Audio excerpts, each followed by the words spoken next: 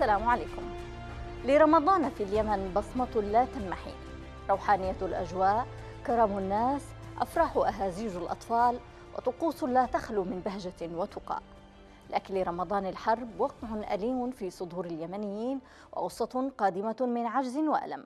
سببته الحرب وتداعياتها من غلاء فاحش وانعدام أساسيات الحياة كالوقود, كالوقود والغاز المنزلي والكهرباء. فكيف هو رمضان اليمنيين هذا العام؟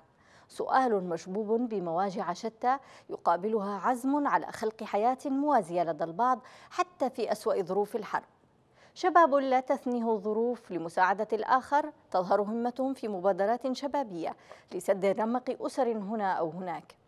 مواقع التواصل الاجتماعي وسيلة ناجحة لجمع الأموال من الميسورين أو من المغتربين رغم أن الأبواب لم تعد مفتوحة كما في السابق. فأغلب الشعب يعاني فلا رواتب ولا مصادر للدخل ولا عمل حتى للمغتربين وربما أن في عودتهم سببا آخر لمضاعفة الهموم. اليمني طوال السنة يعاني ونسبة الفقر في كل عام في ازدياد.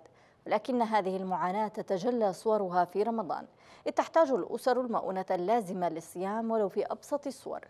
ويستشعر الصائمون مدى احتياجهم واحتياج أطفالهم المتعبين طوال العام. فهل لا تزال موائدكم عامرة ومساجدكم تستقبلكم لصلاة التراويح؟ وهل لا تزال نداءات الخير تدعوكم في الطرقات والشوارع للإفطار؟ مشاهدينا الكرام كيف يستقبل اليمنيون رمضان هذا العام؟ بإجابة هذا السؤال ستكون حلقتنا لهذه الليلة. نحاول الإجابة عليه أنا وضيفي هنا آه، في الاستوديو الأستاذ محمد الأحمدي الصحفي والناشط الحقوقي وسينضم معه آخرون عبر الهاتف. مساء الخير أستاذ محمد مساء الخير أخت آسيا ورمضان كريم عليك وعلى الجمهور آه، جمهور قناة بلقيس وعلى الشعب اليمني العظيم. بإذن الله تعالى. إذا أستاذ محمد آه، دعنا نبدأ حلقتنا لهذه الليلة بهذا التقرير. فاصل زمني مليء بالروحانية يعيشه اليمنيون. إنه رمضان المحمل بأصوات التسابيح والتهاليل وروائح اللحوح والمطبخ اليمني الذي يزدان ويعمر بمختلف الوجبات.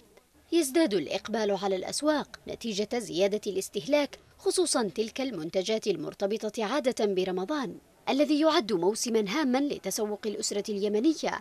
غير أن للحرب في اليمن تبعات وظروفا غيرت أوجه الحياة لدى اليمنيين. غير السنوات الأولى كان تجي وأنت مستعد لرمضان ومستعد متى بيجي رمضان ومرحب برمضان. أما هذه السنة صفر.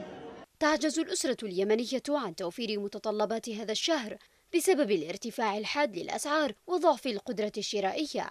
شهر رمضان هذا يستقبل الناس في اليمن بقصة في قلوبهم.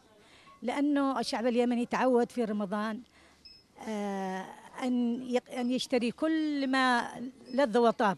متعود الشعب اليمني أن يحتفي بشهر رمضان. ولكن للأسف الشهر هذا أتى والشعب اليمني نص الشعب اليمني بلا مراتب بلا رواتب. والأسر تعاني. فيما الحرب تدخل عامها الرابع يعيش نصف السكان تحت خط الفقر. تزيد من الأعباء والتكاليف الاقتصادية والمعيشية للمواطنين خصوصا في رمضان وهو الأمر الذي حال دون فرحة الكثير باستقبال هذا الشهر الكريم. على كيفية استقبال رمضان لليمنيين هنا في مارب نلاحظ أنه ارتفاع الأسعار بشكل جنوني. آه، من ناحية الإيجارات الإيجارات الناس قدام مش طايقة. أغلب الناس قدم خلاص يعني يشتوا يخرجوا من البيوت. اعتاد اليمنيون على الأنشطة الخيرية في رمضان عبر مؤسسات وجمعيات خيرية تعمل هذه المؤسسات على تقديم المساعدات على الفقراء والمحتاجين وتجسد صورة ناصعة للتكافل الاجتماعي. غير أن هذا العام كما يبدو أكثر تعقيدا كون شريحة واسعة باتت تحت خط الفقر تنتظر ما يخفف معاناتها لا سيما مع انقطاع المرتبات وانعدام مصادر الدخل الحر لشريحة واسعة من اليمنيين. كل ما يمر به البلد لم يثني اليمنيين عن الاحتفاء بقدوم شهر البركة على أمل أن تنفك هذه الأيام العاصبة عن كاهلهم إذا أستاذ محمد الليلة يستقبل اليمنيون شهر رمضان المبارك سنة ونصف دون رواتب ازدياد غير عادي للسلع واحد يعني لوازم رمضان ضعف القدرة الشرائية كيف تتابع ذلك؟ أولا نعيد التهنئة مجددا للشعب اليمني العظيم بهذه المناسبة المباركة شهر رمضان المبارك. في الحقيقة هذه السنة الرابعة على التوالي يعيش اليمنيون. حالة الحرب في البلاد الحرب المدمرة التي أتت على الأخضر واليابس ويعني يعاني جراءها اليمنيون معاناة شديدة في كل مناحي الحياة.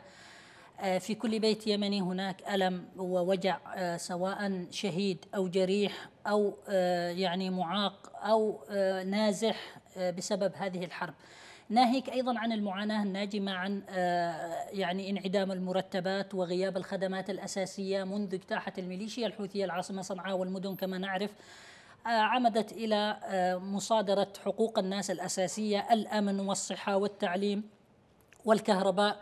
وهناك أيضا وضعت يدها على المشتقات النفطية وحولتها إلى السوق السوداء وحرمت عامة اليمنيين من الحصول على المشتقات النفطية آه، وبالتالي أصبحوا يقضون أيامهم بما في ذلك رمضان ولياليهم من غير آه، كهرباء من غير وقود. آه، اذا رمضان يأتي هذا العام. ونعلم كيف أن ليالي رمضان نعم. الجميلة يعني لا أنا أذكر أنا قضيت أحد رمضانات يعني رمضان الأول على الانقلاب في اليمن وكان الوضع في غاية الصعوبة رغم أن كنا في في بعض الأحيان آه، يعني يتوفر الطاقة من خلال الطاقة الشمسية يعني آه، للإضاءة لبعض الوقت لكن سرعان ما تنطفئ يعني لا تصمد طوال الليل نعم. وأسعار البترول مرتفعة قبل أن نضطر إلى النزوح من البلاد وبالتالي آه، يعني نعرف ما معنى أن يعيش اليمنيون ليالي رمضان في الظلام وفي ظل انعدام المشتقات النفطية و غياب المقومات الأساسية في للحياة. إذا يعني رمضان في الحقيقة آه، في اليمن آه، رغم أجواء الروحانية ويعني آه، روح التكافل الذي نجح اليمنيون في التمسك به رغم كل هذه المعاناة والألم وفي الحقيقة الواحد يقف مندهشا بالنظر إلى صبر وجلد المجتمع اليمني وتضحياته وتفانيه وتمسكه بقيم القيم قيم التكافل القيم الدينية والقيم الوطنية الأصيلة رغم كل هذا التدمير الذي والتجريف الذي تعرض له المجتمع اليمني والقمع الرهيب الذي يتعرض له من طرف الميليشيا الحوثيين ورغم أيضا تبعات الحرب بشكل عام. يعني آه الآن هناك حصار يعني يعاني منه المجتمع اليمني. بسبب غياب هذه الخدمات الأساسية التي صادرتها ميليشيات الحوثيين أو منع أيضا وصول أحيانا الإمدادات الإغاثية نعم. والغذائية إلى السكان في آه كثير من مناطق البلاد آه، الميليشيا الحوثية في الحقيقة ونحن عندما نتحدث عن رمضان نتحدث عن آه، عمل البر والإحسان وضرورة الالتفات إلى أوضاع الضعفاء والمساكين في المجتمع اليمني والذين آه، يعني لا يجدون قوت يومهم وأطفالهم بعد أن يقضوا يوما في الصيام. يعودون إلى البيت دون أن يجدوا ما يطعمون به أنفسهم وأولادهم وأطفالهم وأهليهم. آه، كان هناك نشاط جيد في السنوات السابقة للعمل الخيري المنظمات الإغاثية والخيرية لكن بمجرد وصول الميليشيا الحوثية إلى المدن وسيطرتها على المدن عمدت أول شيء نعم إلى إيذاء. قبل أن, أن نعم. نتحدث عن آه، جهود أو النشاط الإغاثة وما وما الذي أدى إليه. يعني آه، دعنا نتحدث قليلا عن صنعاء أستاذ آه، محمد. يعني صنعاء التي كانت مدينة مفتوحة لجميع الناس. أصبحت مدينة مغلقة من قبل الحوثيين. الناس بلا رواتب يعني خوف شديد كثير من الأماكن آه، التي كانت عامة أصبحت سجون آه، يعني تحتوي كثير من المختطفين. لا مساعدات لا أعمال للناس. كل ذلك يعني يجعل آه، وضع الناس في أسوأ حالاته. كيف يمكن أن يستقبلوا شهر رمضان؟ بأي معنويات؟ وأنت تقول أنهم يعني ما زالوا يتمسكوا بكثير من معاني رمضان. يعني في الحقيقة أخت آسيا لا يزال لدينا أقارب وأهالي في صنعاء نعم. وعندما نتواصل معهم و رغم المعاناة والمأساة التي يعيشونها لكن لا زالوا متمسكين بروح بهذه الروح من الصمود في وجه غطرسة الميليشيا الحوثية. يعني آه، الحوثيون في الحقيقة آه، عمدوا إلى تحويل العاصمة صنعاء إلى معسكر كبير أو نعم. إلى سجن كبير. وضعوا فيه ملايين البشر تحت رحمتهم. يعني هناك إجراءات قمع شديدة في حق الناس بالإضافة إلى غياب الخدمات والرعاية وحتى الأساسيات التي يفترض بسلطة الأمر الواقع في العاصمة صنعاء. أن تتحمل مسؤولية في توفيرها للمواطنين هي تعزف عن القيام بمسؤوليتها في رعاية الحد الأدنى من رعاية المواطنين والسكان السكان الواقعين تحت سيطرتها. فقط كل همها كل هم الميليشيا في العاصمة صنعاء وغيرها من المناطق الواقعة تحت سيطرتها. وكيف تحشد إلى الجبهات؟ وكيف تعمل على عسكرة المجتمع؟ وكيف تعمل على شحن الناس بالكراهية وثقافة العنف وبالثقافة الطائفية التي حملتها معها هذه الميليشيا من الكهوف ومن آه، يعني غبار التاريخ وجاءت بها إلى مدينة صنعاء المدينة الجميلة المتعددة الثقافات المنفتحة على الجميع. وحالت هذه المدينة إلى سجن كبير كما أشرت وإلى معسكر. نعم. فقط تحاول الحشد الناس إلى الحرب وإلى الجبهات رغم أيضا حرمانهم من أبسط الخدمات الأساسية. نعم، اذا من صنعاء ستنضم آه، معنا آه، الاستاذه هديل المسني الناشطة في المجال المجتمعي آه، عبر الهاتف، مساء الخير أستاذة هديل. مساء النور، أسعد الله مساكم إن شاء الله. أهلا بك آه، أستاذة هديل وكل عام وأنت بخير آه، مقدما. وأود أن تحدثينا يعني آه، أنا أتذكر رمضان في صنعاء. مثل هذا اليوم الأسواق تضج بالناس. لا نستطيع يعني من سيدخل السوبر ماركت فسيقضي فيه ساعة ساعتين من شدة الازدحام.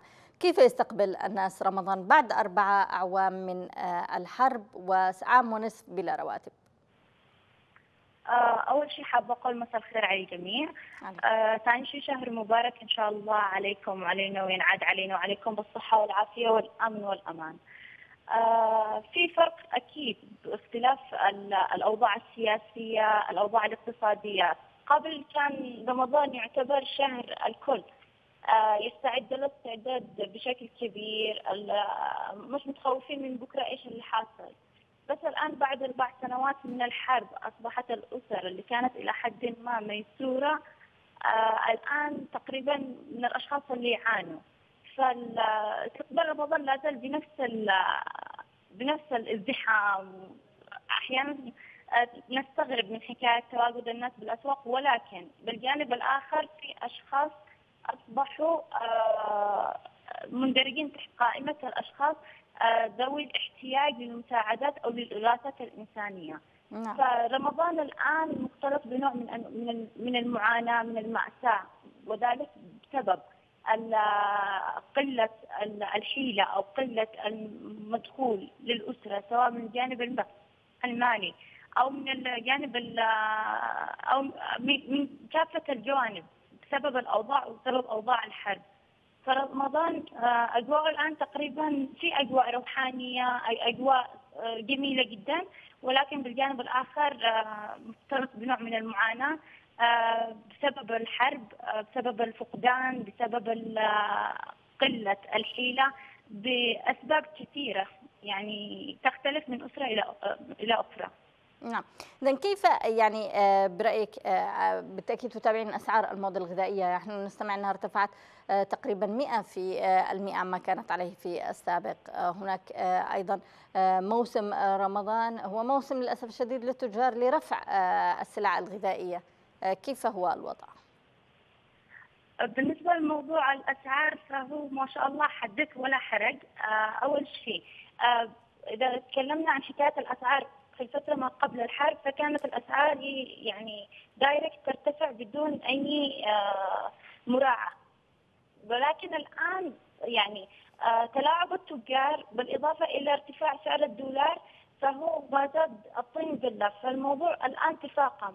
يعني إحنا كأشخاص شغالين بجانب الخدمة المجتمعية آه، في السنوات ما قبل الحرب آه، لو جينا نجيب مثلا تقدير إنه الأسرة ال 50000 نحن قادرين نوفر فيها من ثلاث إلى أربع سلات غذائية للأسرة. يعني اللي هو الحجم ال 10 كيلو الأشياء هذه. الآن الأسرة الواحدة تكلفنا 30000 آه، بنفس الوقت مش كل الأشياء متوفرة. يعني معانا الرز والدقيق والسكر والزيت فقط. نعم. آه كمان ما فيش أي مراعاة يعني للمواطن أو للشخص.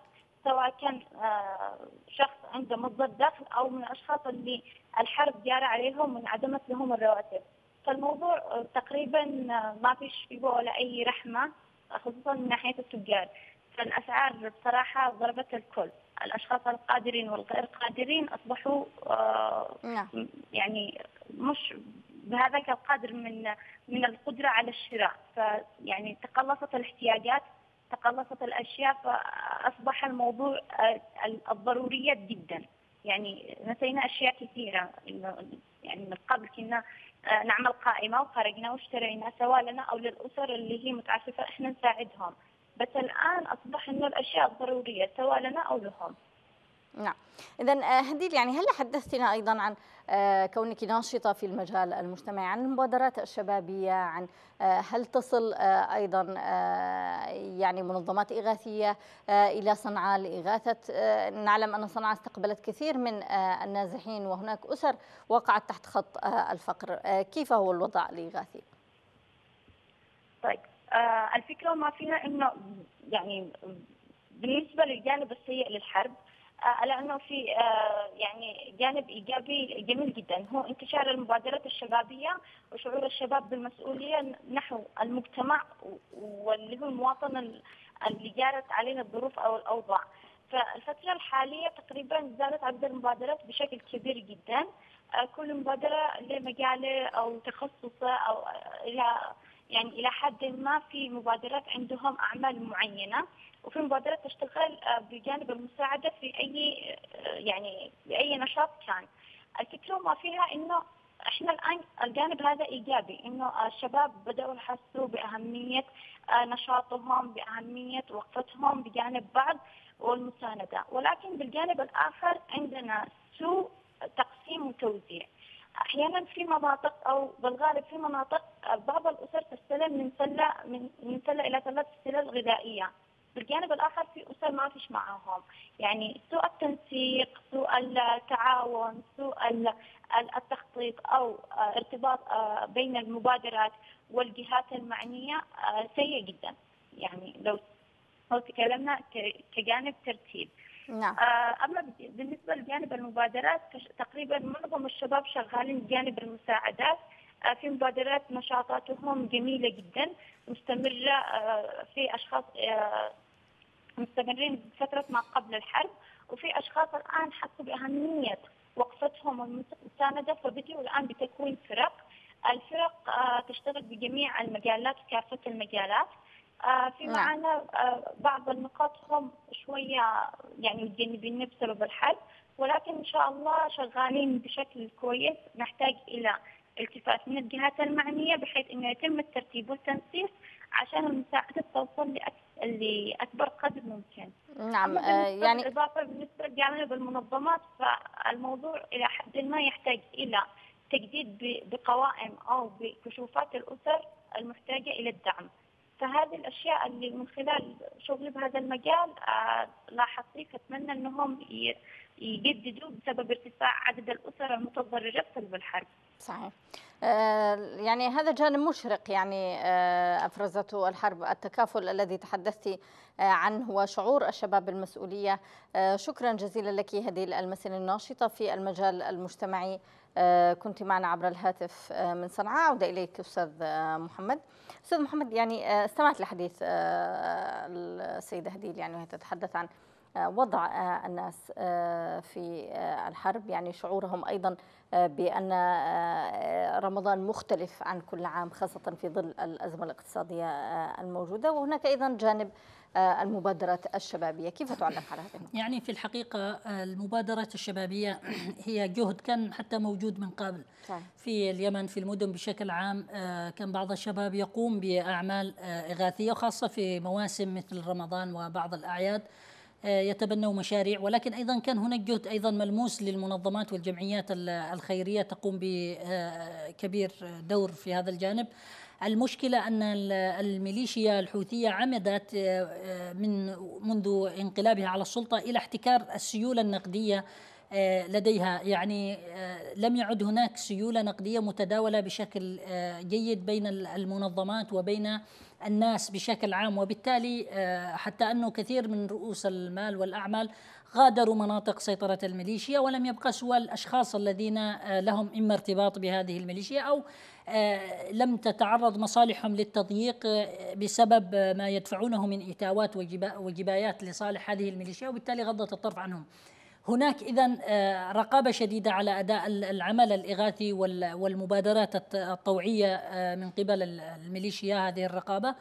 وهذا يعيق كثير من عمل المنظمات. لكن كان هناك يعني أود كنت أن أعرف من الأخت الناشطة هل يعني المبادرات هذه كان هناك تمويل من طرف منظمات مانحة دولية أو أنه فقط عبارة عن مبادرات طوعية بتمويل محلي وداخلي في ظل يعني الظروف الصعبة لكل غالبا نعم يعني, يعني نتابع العديد من المبادرات عادة يعني آه، نعم محلية لا محلية لا نعم. نعم وبالتالي كان هناك أيضا حديث دائما للمنظمات الدولية عن جهود إغاثية في اليمن ولكن من الملاحظ آه، أو آه، أنه من الملاحظ وهذه مشكلة في الحقيقة أنه لا توجد آلية تنسيق بين عمل هذه المنظمات وبين المستفيدين مباشرة المواطنين دون أن نعم. تمر هذه المعونات والمساعدات والمشاريع عن طريق الميليشيا التي تحاول إلى آه، الالتفاف عليها ومصادرتها وتحويلها لصالح مجهودها الحربي نعم هي هي الإشكالية أستاذ محمد يعني المانح يعطي المبالغ للمنظمات الإغاثية. المنظمات الإغاثية تصرف آه، من 40 إلى 60% حسب ما جاءنا إلى يعني موارد تشغيلية وما تبقى من هذه الأموال. تصل إلى المحتاجين عبر كما قلت الحوثيين يعني لا يصل فعليا إلا فتات الفتات نعم. لهؤلاء الناس إن وصل يعني آه، وبالتالي مثل هذه المبادرات أخت آسيا يعني يفترض المبادرات المحلية التي تحدثت عنها الأخت الناشطة من صنعاء أنه تدعم آه، بسخاء يعني ويكون هناك من قبل من من المعني بدعمها يعني من قبل الحكومة الشرعية عليها أن توجه الدعم القادم من المنظمات الإغاثية ومن المانحين مركز الملك سلمان على سبيل المثال وغيره من المنظمات التي تتحدث عن مليارات الدولارات آه، كمساعدات إغاثية للشعب اليمني. يفترض أن آه، تذهب وفق آلية تنسيق معينة إلى المستفيدين مباشرة عبر هذه المبادرات الموثوق بها وليس عن طريق الميليشيا كما أشرت والتي تحول نعم.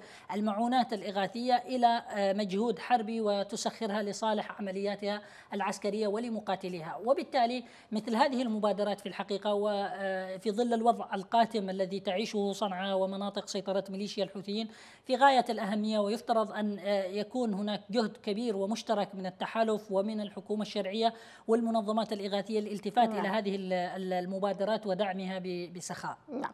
إذا آه ننقل الحديث إلى مأرب لنجد آه لنبحث آه أو لنرى كيف هي الصورة هناك. مع الأخت أمة الله الحمادي الناشطة الحقوقية من مأرب عبر الهاتف. مساء الخير أستاذة أمة الله مساء النور. أهلا بك وكل عام وأنت بخير ورمضان كريم بإذنه آه، تعالى. ونود أن تنقلي لنا صورة آه، يعني الناس في مأرب كيف يستقبلون رمضان هذا اليوم. كل عام وأنتم بخير واليمن إن شاء الله في طور التعافي. آه، طبعا مأرب مثل أي من المحافظات اليمنية. آه، الأزمة الخانقة التي تشهدها اليمن ألقت بظلالها على مأرب ولا تزال حتى الآن. آه، لا نستطيع أن نقول حتى الآن أن مأرب آه، في طور التعافي كما يفترض بها أن تكون بصفتها المحافظة الأكثر أمانا. لا يزال المواطن اليمني في محافظة مأرب يعاني من الأزمة الاقتصادية الخانقة من الارتفاع الجنوني في الأسعار، يعني رغم قدوم شهر رمضان وما يعلمه الجميع من المتطلبات التي يحتاجها الإنسان في هذا الشهر تحديدا، لم نشهد أي حلول لهذه المشاكل قبل الآن. يعني آه كاتقاء بقدوم هذا الشهر يعني إنه نقدم شيء للمواطن قبل أن يأتي هذا الشهر بحيث انه المواطن يكون على استعداد لهذا الشهر آه، كعادته ربما قبل آه، في الفترات قبل الحرب ما نشهده الآن في معرض بصفتها المحافظة التي تشهد الآن أكثر عدد من النازحين نعم. المحافظة التي أيضا يوجد بها العدد كبير من الجرحى والمعاقين أسر الشهداء ومن أصحاب الدخل المحدود أيضا. صحيح أننا نشهد توافد كبير إلى الأسواق لكن القدرة الشرائية لم تعد كما كانت لدى المواطن اليمني. كذلك الأسعار الأسعار يعني مرتفعة بشكل يفوق حد الوصف. آه، نريد أن آه، أن نتحدث هنا عن آه، أسعار الإيجارات، يعني إذا كان إيجار البيت أعلى من راتب الموظف، كيف للموظف أن يوفي متطلبات الشهر الكريم؟ أو حتى متطلبات عند هذه النقطة أستاذة أمة الله اسمحي لي يعني ألم ألم يعني تستطيع الحكومة الشرعية يعني والسلطة المحلية في مأرب من الحد من هذا الارتفاع لنقل السلع الغذائية مرتبطة بحكم الضرائب والإستيراد والتصدير وسعر الريال مقابل الدولار. ولكن مسألة الإيجارات كثيرا ما نستمع آه، إلى أنها مرتفعة بحد جنوني في آه، مأرب ألم. يعني تستطيع السلطة المحلية أن يعني تصنع شيئا حيال هذا الأمر خاصة كما قلت أن ربما الإيجار يأتي آه، يعني أعلى من راتب الفرد. أتكلم بصراحة فقط. نحن نشيد بالمجهود الأمني فقط في محافظة مأرب أما أي من جهود الرقابة؟ سواء على أسعار السلع بحيث أنها تتناسب مع قلت من الضرائب وأسعار الاستيراد وما إلى ذلك أو أن تتناسب مع القدرة الشرائية للمواطن أو حتى أسعار العقارات. لا يوجد أي رقابة أو أي عمل جاد للحد من هذه الأسعار أو حتى لوضع يعني أسعار آه، لا نقول أنها أسعار منخفضة أو أسعار تناسب الدخل بل نقول أسعار معقولة أو شبه معقولة. لا يوجد أي إجراءات على الأرض تش يعني تشجع الإنسان حتى يشيد في هذا آه، في الحكومة في هذا الجانب. نعم. إذا يعني آه، لو تحدثنا عن المبادرات الشبابية أمة الله كيف تجدينها في مأرب؟ خاصة وأن الظروف سيئة كما تقولين ربما مأرب أود أن أسألك أيضا حال الموظفين هل يستلمون رواتبهم بشكل اعتيادي شهريا؟ آه، طبعا الموظفين أغلبهم آه، يستلمون الرواتب لكنها كما قلنا سابقا يعني بالكاد تأتي كإيجارات للبيوت. المبادرات الشبابية موجودة حتى الآن يعني وفي طور النمو لكنها لم تصل حتى الآن مرحلة النضج. يعني لا يوجد لدينا نضج مجتمعي في محافظة مأرب رغم كثرة كثرة يعني آه، حد كبير جدا المعونات التي تصل إلى مارب لكن الفئات الأكثر احتياجا غالبا كفئة المهمشين وغيرها لا تتلقى أي من المساعدات. يعني وفي آه، نوع من أنواع التلاعب أشخاص آه، من غير ذوي الاحتياج يتلقون هذه المعونات. آه، أشخاص يعني أتذكر قبل عدة أيام امرأة كان زوجها مقاتل في الجبهة كانت تتلقى كيس الدقيق كل شهر أو كل فترة والثانية. توفي زوجها فقالت هل سقط الاسم هو سقط شهيدا؟ يعني قالتها بهذه اللفظة سقط اسمه لما راحت تستلم آه، يقولوا لها سقط الاسم، كيف سقط الاسم حين سقط الرجل. يعني بدل ما من أن يتلقى الإنسان الآن مساعدات أكثر أصبح الإنسان الآن عالة ومعيله قد توفي. يعني الدولة حتى الآن والمبادرات أيضا لم تكفل الجميع لم تقدم آه، كل شيء بالتساوي بحسب درجات الاحتياج للجميع. وهذا يعني قصر من القائمين على هذه المبادرات وقصر من الحكومة وقصر من الجميع يعني الجميع مقصر نعم آه، يعني أتمنى أن تصل رسالتك أستاذة أمة الله وسنتحدث عنها لاحقا مع ضيفي هنا. شكرا جزيلا لك أمة الله الحمادي الناشطة الحقوقية. كنت معنا عبر الهاتف من مأرب. نتحدث عن هذه النقطة المهمة التي طرحتها الأخت أمة الله. ولكن اسمح لنا أنت والسادة المشاهدين بالذهاب لهذا الفاصل القصير ثم نعود إليكم.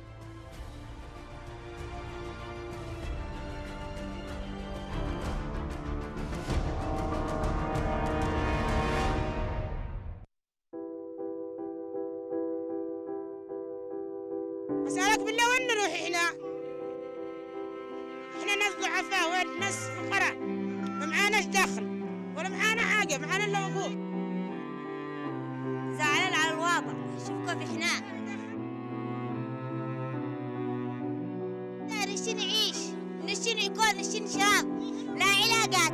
لا عيالنا كيفون لا الفتحنا بقليل برد لين دولنا قالوا الرجل قال السكر. عكانوا يصدقوا علينا بقليل ما قطعوه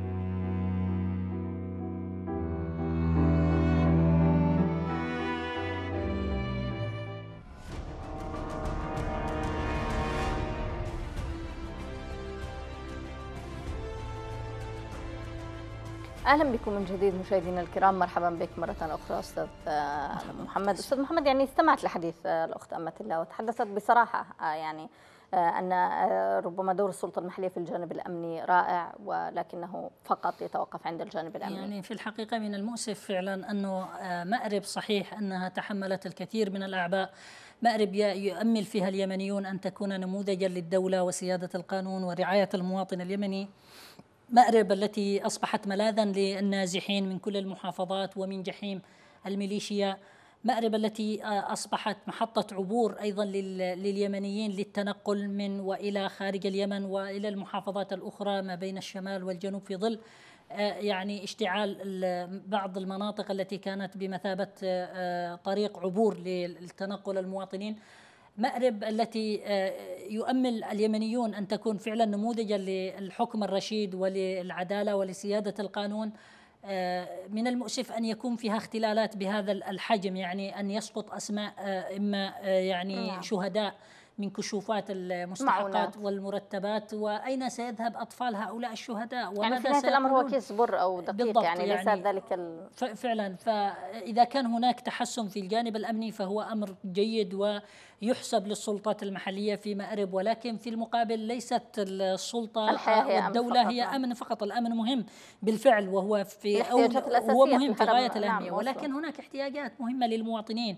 يعني يفترض أن تستنفر السلطة المحلية جهودها وهناك في الحقيقة كوادر من كل المحافظات اليمنية موجودة في مأرب في مختلف التخصصات يعني في كل الجوانب ولهم خبرة في إدارة المحليات وإدارة خدمات المواطنين. وبالتالي اولا آه، ارتفاع إيجارات آه، البيوت في مارب آه، هذه شكوى من أول يوم وكنا نسمعها نعم وكنا مبالغ مهولة يعني. مبالغ مهولة فعلا والناس و و ويطلب منك أن تدفع مقدم ستة أشهر يعني نظرية المقدم هذه ليست يعني موجودة في اليمن نهائيا ابتزاز ل يعني من بعض ربما من بعض الأشخاص في مارب. نعم المجتمع القبلي في مارب مجتمع أصبح مضيف وتحمل أعباء كثيرة وهو كان يعني حجر الصد في مواجهة الميليشيا الحوثية ولهم بطولات رائعة ويخلدها التاريخ ويذكرها اليمنيون بكل فخر واعتزاز ويذكر اليمنيون تضحيات أبناء مأرب ومأرب اليوم لها مكانة خاصة في قلوب اليمنيين وبالتالي لا يفترض أن ولا يجوز أن أن يكون هناك شكوى من مأرب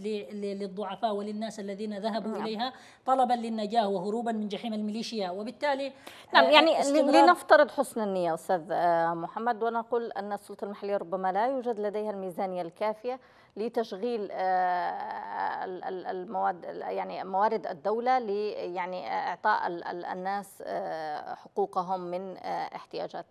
أين هو دور الحكومة؟ يعني ألا يفترض أن تكون هي يعني ان أن تجد في مأرب في عدن في حضرموت في تعز المناطق المحررة ان أن تصنع منها نموذجا حقيقيا نحن نتحدث أخت آسيا عن سلطة يعني سلطة محلية باعتبار أنها موجودة على الأرض أما نعم. الحكومة الشرعية فهي في المنفى للأسف وهذا هذه مشكلة أخرى كبيرة ومؤسفه يعني أن تظل الحكومة الشرعية المعترف بها دوليا على مدى أربعة أعوام خارج البلاد وخارج الجغرافيا اليمنية فهذه إشكالية كبيرة وتحتاج دائما إلى إعادة التذكير بوجوب عودة الحكومة الشرعية إلى الأرض إلى اليمن لممارسة دورها وإلى المناطق المحررة أما عندما نحاول البحث عن أعذار للسلطة المحلية ونحملها طبعا الحديث هنا عن السلطة المحلية باعتبار أنها يعني نعم. موجودة على الأرض ولأنها هناك أيضا توفر من المناخ والالتفاف آه، الجيد آه، مع السلطة المحلية في مارب وحتى هناك على الأقل مواقف ما يبدو من مواقف الحكومة الشرعية الداعمة للسلطة المحلية في مأرب ما آه، يضاعف من مسؤولية السلطة المحلية هناك يعني القيام بمسؤوليتها تجاه المواطنين خاصة النازحين الهاربين من مناطق جحيم. الصراع من جحيم الصراع في والحرب في المناطق الأخرى يعني في مأرب أيضا يفترض أن يكون هناك آه، يعني مشاريع استثمارية كبيرة آه، تنافسية في جوانب الإسكان والعقارات بحيث آه، يقل يعني تصاعد الطلب على الإيجارات ويصبح هناك نوع من التنافس ويمكن هذا أن يساهم اولا في يعني التسريع من عجلة التنمية في المحافظة وفي نفس الوقت يخفف من وطأة ارتفاع الأسعار أسعار البيوت والإيجارات في المحافظة. أمام السلطة المحلية في الحقيقة يعني مسؤوليات كبيرة ليس فقط في الجانب الأمني ويعني آه، إعادة الأمن والاستقرار للمحافظة التي عانت كثيرا من آه، يعني الحروب ولا يزال حتى هذه اللحظة ميليشيا الحوثيين بين الفينه والأخرى ترسل صواريخ باليستية إلى المحافظة في نعم. محاولة للإضرار بهذه المحافظة وبالسكان المحليين هناك لكن في كل في المحصلة النهائية يجب أن يكون هناك مضاعفة للجهود كما أشرت هناك كوادر من كل من كل المحافظات اليمنية كوادر جيدة في نعم. إدارة السلطة المحلية وفي إدارة الخدمات الأساسية للمواطنين في مأرب يمكن أن يستفاد منها في التسريع من يعني تحسين الخدمات بشكل عام خاصة خدمات الخدمات الأساسية بما في ذلك خدمات حتى الرقابة أيضا على مسألة آه، الأسعار وأسعار المواد الغذائية والأساسية. نعم. اذا دعنا ننتقل أيضا إلى تعز ونرى كيف هو الوضع هناك مع السيدة حياة الذبحاني رئيسة مؤسسة حياة للإغاثة من تعز عبر الهاتف. مساء الخير أستاذة حياة. آه، مساء الأنوار. مرحبا بكم وبكل السادة المشاهدين وشهر مبارك وكل عام وأنتم علينا وعليكم إن شاء الله. نعم آه، أستاذة حياه يعني آه، كيف هو وضع الناس في تعز خاصة وهم يستقبلون شهر رمضان المبارك؟ نعم في حقيقة الأمر كما لا يخفى على الجميع بأن هذه المدينة منذ ما يقارب الثلاث سنوات والنصف وهي تتعرض لكافة أنواع العقوبات آه، القصف العشوائي والعقاب بالمعنى الأصح العقاب الممنهج لأبناء هذه المدينة سياسة التجويع أو سياسة التركيع التي تستخدمها الميليشيات الحوثية تجاه أبناء هذه المدينة. آه، غادرت المنظمات الإغاثية والدولية مدينة تعز منذ بداية الأحداث وذهبت للعمل في المناطق التي تسيطر عليها الميليشيات الحوثية حينما عاد وفد الأمم المتحدة ومر من المعبر الذي تسيطر عليه بمجرد أن خرج وفد الأمم المتحدة أغلقت المعابر مرة أخرى، نحن في حقيقة الأمر لا نعلم ماهيه الخذلان لهذه المدينة، الوضع فعلا مأساوي للغايه ومؤلم للغاية، الناس في كرب وفي ضيق من العيش، الرواتب كما تعلمون منقطعة، الجمعيات والمؤسسات الخيرية لا تستطيع أن تقوم بالدور الكافي لإغاثة هؤلاء الناس. غاب الجميع وحضر فاعلي الخير الذين يعني استطاعوا ان أن ينجزوا الشيء الكثير وأن يرسموا كثير من البسمات والفرح على وجوه الناس هنا في المدينة. نعم أستاذة حياة يعني لفتني وأنت تقولين أن الرواتب منقطعة. يعني أليست أليست تعز آه، آه، آه، مناطق المحررة فيها يفترض أن تستلم رواتبها لما هي منقطعة؟ يعني مثلا في مأرب حدثتنا الأخت أمة الله أن هناك رواتب يعني يستلمها الموظفون. ما الفرق يعني؟ لما لا يستلم موظفو تعز رواتبهم؟ نعم. آه، ليس تعصبا لهذه المدينة ولكن تعز كما يقال هم الذي علمهم السحر تعز هي من علمتهم الثورة وتعز هي من علمتهم معنى البطولة والرجولة تعز ضربت أروع الأمثلة في التضحية والبطولات وأنا لا أتعصب كوني من هذه المدينة من يعيش في هذه المدينة. يدرك كمية ما يعانيه الناس آه، في هذه المدينة. آه، على سبيل المثال ليس الحصر جرحى مدينة تعز الذين من المفترض أن تقوم الدولة. بواجباتها تجاههم هم حتى اليوم وحتى هذه اللحظة وهم على أسرة آه، الخذلان واللامبالاة. تعز يراد لها العقاب ويراد كسر شوكة الجمهورية اليمنية من من تعز تعز إذا ذهبت إلى التحرير ستتحرر كل الجمهورية فلذلك التجويع والتركيع وسياسة انقطاع الرواتب وسياسة العقاب الجماعي التي تستخدمها الميليشيات الحوثي وجماعة الهالك صالح. هي ما يترجم بأن أبناء هذه المدينة هم حجر عثره أمام المشروع الكهنوتي السلالي الطائفي. نحن نقول في حقيقة الأمر بأن تعز تضرب أروع الأمثلة. تلك هذه المدينة الذين لا يتعاطون سوى وجبة واحدة في اليوم أصروا على الاستمرار في هذه المدينة، أين هي المنظمات الإغاثية والدولية لكي تقوم بواجباتها الأخلاقية والإنسانية تجاه الناس المشردين من أهالي الوازعية واصل وتبيشعه وبلاد الواتي نعم دعيني من المنظمات الإغاثية أستاذة حياة. يعني ربما المسألة آه، نعلم أن المنظمات الإغاثية تمشي ب آه، يعني آه، سياسات الدول للأسف الشديد. ولكن أود أن أسألك ماذا عن دور الحكومة خاصة بعد تحرير الوازعية بعد تحرير بعض المناطق عودة النازحين الأوضاع السيئة تماما الموجودة في تعز؟ كيف سيستقبل هؤلاء كلهم رمضان بهذه الأوضاع؟ أين دور السلطة المحلية والحكومة الشرعية في هذا الجانب؟ نعم. في حقيقة الأمر دور الحكومة غائب تماما ودور السلطة المحلية كذلك غائب تماما. آه نحن نشد على أيدي محافظة المحافظة الدكتور أمين وكذلك السلطة المحلية بأن يبذلوا قصار جهدهم وأبناء هذه المدينة معهم لكي يعود الأمن والاستقرار. نحن بالدرجة الأساسية نبحث عن الأمن والاستقرار في هذه المدينة. آه أطباء بلا حدود غادرت مدينة تعز بسبب آه الميليشيات آه، المسلحة التي تحاول العبث بالأمن في هذه المحافظة. مقتل رئيس الصليب الأحمر كذلك في مدينة تعز. هناك من يريد فعلا أن يجوع أبناء مدينة تعز. أنا أستطيع أن أقول بأن فاعلي الخير هم الدولة وهم الحكومة وهم الشرعية هنا في هذه المدينة. استطاعت الجمعيات والمؤسسات الخيرية والتكتلات الشبابية والمبادرات أن تقوم بجهود جبارة وعظيمة لإنقاذ ما يمكن إنقاذه من مشاريع خيرية هنا. نفذت للأسر الفقيرة والمعدمة وللنازحين والمشردين. وللجرحى أما الدولة كما ذكرت مسبقا هي لم تهتم أساسا بجرحاها الذين من المفترض أن تقوم بعلاجهم لأن هؤلاء الجرحى هم الدرع الحصين الذي تكسرت عند أقدامهم وأشلائهم المتطايرة في الجبال وجراحهم المتعفنة تكسرت أحلام الميليشيا في الدخول إلى هذه المدينة وظلت نعم. كذلك الشرعية صامدة بتضحيات الشهداء والجرحى. للأسف الشديد آه، حتى أن بعض أسر الشهداء حتى اللحظة لم يستلموا رواتب مع الرغم أنه من المفترض تكرم أسرة الشهيد ويعطى نعم. لها حقها آه، سؤال سؤال أخير أستاذة حياة. للأسف الشديد نعم. نعم يعني آه، أود أن تحدثين عن مسألة التكافل الاجتماعي. كيف هي بين الناس؟ يعني آه، بين أبناء المجتمع خاصة واليمنيين يمرون بهذه الظروف الصعبة المبادرات الشبابية عمل المؤسسات المحلية كيف هو؟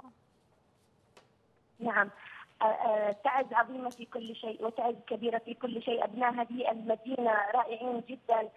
كل المغتربين في كل أنحاء العالم يحبون تعز لأن تعز كما يقولون قدمت لهم الطبيب والمهندس وقدمت لهم الأكاديمي قدمت لهم العلماء. الجميع متعاطف مع مدينة تعز. الجميع يحاول أن أن يدعم ويتبرع بما يستطيع وبما تجود به نفسه لإخوانه هنا في مدينة تعز. استطاعت المؤسسات الجمعيات الخيرية والمبادرات الشبابية وكذلك شباب الجامعة أن يقوموا بجهود جبارة في إغاثة الناس هنا وتوفير المياه الصالحة للشرب حينما نلمس تلك المبادرات لا نستطيع سوى أن نرفع قبعاتنا احتراما وإجلالا وتقديرا وتعظيما لكل الجهود المتضافرة هنا في مدينة تعز الكل هنا على قلب رجل واحد. الكل يحاول أن ينقذ ما يمكن إنقاذه من الناس الجوعى والمشردين والفقراء والأيتام.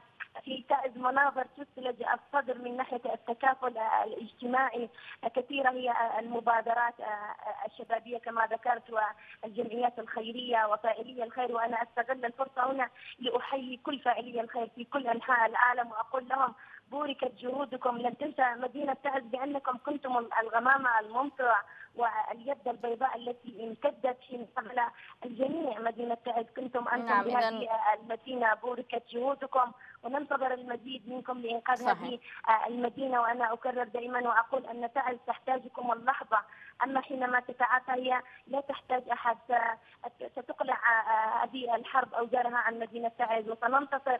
وسيسجل التاريخ رجال المواقف ونساء المواقف الذين جادوا بكل جميل لهذه المدينة والتاريخ يكتب. هي كذلك دعوة إلى تجار تعز وإلى كل تجار أنحاء الجمهورية اليمنية. تعز تحتاجكم أبناء هذه المدينة الذين يدافعون عن الكرامة والحرية والعزة والشموخ ينتظرون منكم أن أن تسدوا رمق جائع منهم وأن تكفلوا طفلا يتيما صغيرا وأن تعالجوا نعم إذا شكرا لك أستاذة حياة. تخلى عنا في مدينة نعم شكرا جزيلا لك حياة ذبحاني رئيسة مؤسسة حياة. للإغاثة. كنت معنا عبر الهاتف من تعز عودة أخيرة لك أستاذ محمد. أستاذ محمد يعني وضع تعز معروف مناطق محررة منسية تماما لا أحد يسأل عن حال هؤلاء المواطنين. لا منظمات إغاثية ولا حكومة تسأل. يعني تعز أخت آسيا هي المثال الصارخ للمعاناة اليمنية جراء الحرب. تعز تعرضت لعقاب جماعي حرب عشواء وظالمة وغاشمة في نفس الوقت. يعني إلى اللحظة لا تزال تعز تئن تحت وطأة قذائف الميليشيا الحوثية على الأحياء السكنية. لا تزال تعاني جراء الألغام والعبوات الناسفة التي نشرتها. هناك عشرات الآلاف من القتلى والجرحى من تعز بعضهم في إعاقات دائمة بسبب بتر أطراف أو ما أشبه ذلك. يتوزع جرحى تعز في أصقاع الأرض ويعانون أيضا أحيانا غياب الرعاية والدعم واستمرار العلاج. تعز في الحقيقة مثال صارخ للمعاناة اليمنية رغم الصمود والتضحيات التي قدمتها. ويعني أيضا هناك مبادرات جيدة ومبادرات إنسانية تستحق كل التقدير والإشادة. يعني على سبيل المثال هذه المبادرات التي تنفذها الأخت حياة التي كانت نعم، تتحدث عن قبل قليل و يعني في الحقيقة كثير من وكثير من الأعمال التي, تبدو على الأقل وما يظهر للإعلام وهناك بالتأكيد أعمال إغاثية ومبادرات أخرى غيرها كثير تستحق كل الدعم والإشادة والتقدير. إذا شكرا جزيلا لك محمد الأحمدي الصحفي والناشط الحقوقي. كنت معنا في هذه الحلقة من المساء اليمني. الشكر لكم أيضا مشاهدينا الكرام لحسن متابعتكم ومرة أخرى. أتمنى أن يأتي رمضان عليكم وأنتم في خير وسلام. إلى أن نلتقيكم في مساء يمني جديد. كونوا برعاية الله وأمنه.